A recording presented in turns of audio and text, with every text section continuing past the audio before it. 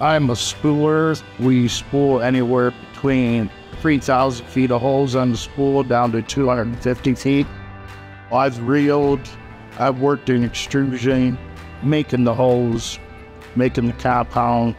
I've done it all, but primarily I've been down in the finishing department, spooling or working in the other department where we do cut lengths. I've always had a great relationship with everybody in the plant.